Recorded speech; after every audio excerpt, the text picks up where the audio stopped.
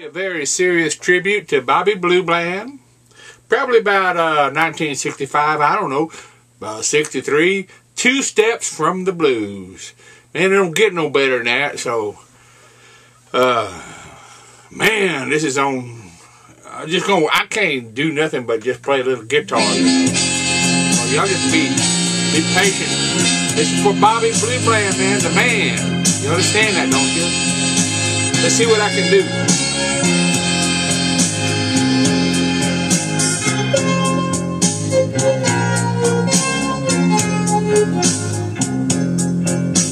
Thank